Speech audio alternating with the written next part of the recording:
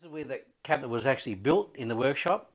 So today we're going to show you some of the components and some of the stonework that went into the cabinet.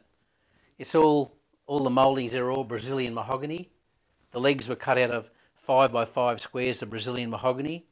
Then they were veneered, crossband around the edge, stringed in ebony, then inlaid with snowdrops. The columns are all solid ebony, which I've um, veneered over, then gilded and put moles back over it and inlaid stone in it, but it's all solid ebony from top to bottom on it. Yeah, the gallery's all, it's all cut out of stone, all half inch squares, and it's polished on each face, and there's seven applications of grit to be able to get that polish on the stone. It took nearly four months just to cut it. The um, bottom drawer is, um, is stone from Mount Warning, the green jasper and it's inlaid into there is panels of stone. Ebony frames actually hold it in. If one got broke, you can take it back out again.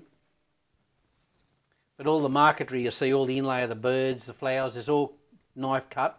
It's all cut out with a knife and then scorched in hot sand to get that shading effect on it.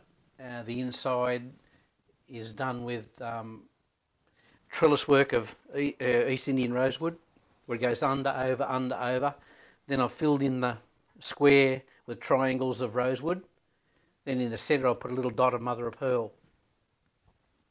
And the inlay of the little water scene there is our jacanas. Yeah, this drawer here has the uh, our wedge-tail eagle in it. It took a fair while to, to make.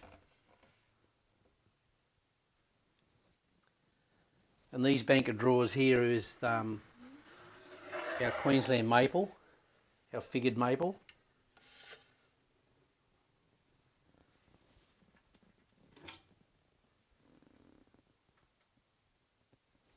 Rosellas.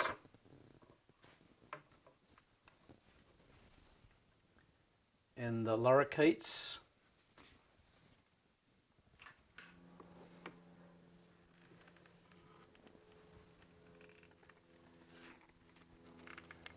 And that's a piece of material off um, Marie Antoinette's bed in Versailles.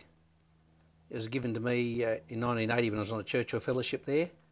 It's all pure silk and the looms in Lyon are still got the same cards to produce that material. And that's the heart of our the New Zealand paua shell. And the actual drawers, they're made out of um, Chinese walnut from Ballarat. There's a plant around the goldfields, bottom of it.